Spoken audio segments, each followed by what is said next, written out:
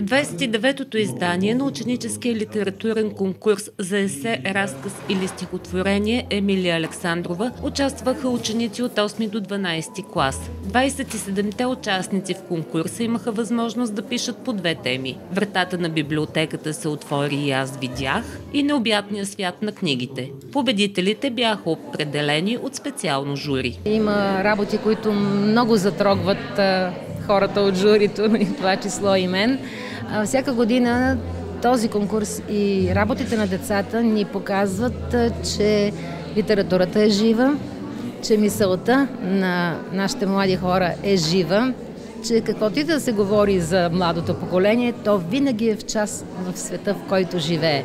И да не забравяме, че това ще бъде неговия свят. Наградите на победителите в литературния конкурс Емилия Александрова бяха връчени от кмета на община Враца Калин Каменов. За разказ първа награда получи Огняна Илиева, втора награда Киара Цветкова, трета награда Моника Драновска. В конкурса за есе бяха отличени съответно Габриела Коцева, Маргарет Тодорова и Ягодинка Григорова. За поезия първа и втора награда не се присъждат, трета награда получи Анелия Цветкова. Това е за едно момиченце на име Нора, което първоначално много се дърпа, не иска да чете, не й харесва това.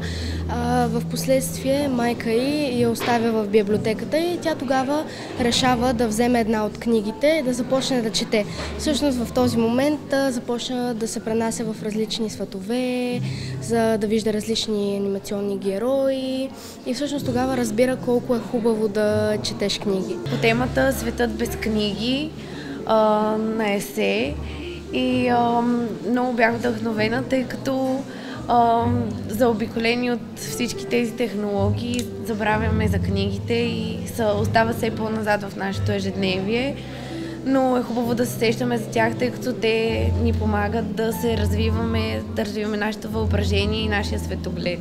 За първа година беше организиран литературен конкурс за детски разказ. Идеята, както обикновено, идеите идват много случайно, тъй като нямаме конкурс за такива малки деца от 3 до 6 клас.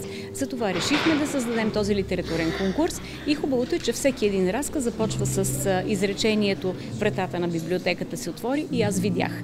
Радвам се, че успяхме да провокираме творческото мислене на децата и да продължават да творят. Честит празник!